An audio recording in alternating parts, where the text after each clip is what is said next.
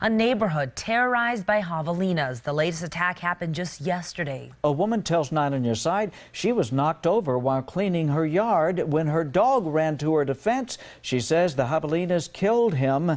It happened near La Cholla and Ruthrauff on the northwest side. 9 on your side, Simone Del Rosario joins us live in the newsroom with more on this. Simone. Well, Mary Jane Lopez wants these javelina gone. She says they are daily visitors to her heavily populated neighborhood. She says they attacked her first and has the bruises to prove it before they turned on her dog. To warn you, some of the images in this story can be disturbing. A big javelina pushed me over onto the ground and started coming at me. I started kicking him in the chest and in the legs to get him off me because he's big. Then her seven year old dog Cowboy came to her rescue three javelina turned on him. Mary Jane Lopez managed to get up and took a shovel to the largest javelina's head.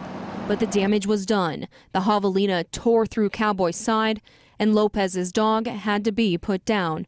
But her concerns go far beyond her own family. It frustrates me because it's not just me that that's getting hurt. It could be kids getting hurt at this point. And her neighbors agree. All day and all night, they come and they go through our trailers, and we have kids, and we're afraid for our grandchildren. Neighbors say the javelina dig under the fence and into the park. When Nine on Your Side asked property management about fixing the fence, they said there's nothing they can do to prevent wildlife from wandering in. To a point, Arizona Game and Fish says there's not much they can do either.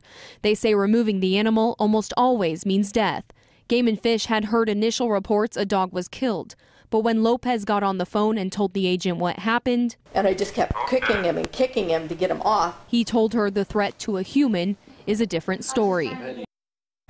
Now, Arizona Game and Fish has taken down a report and will follow up to see what comes of that investigation.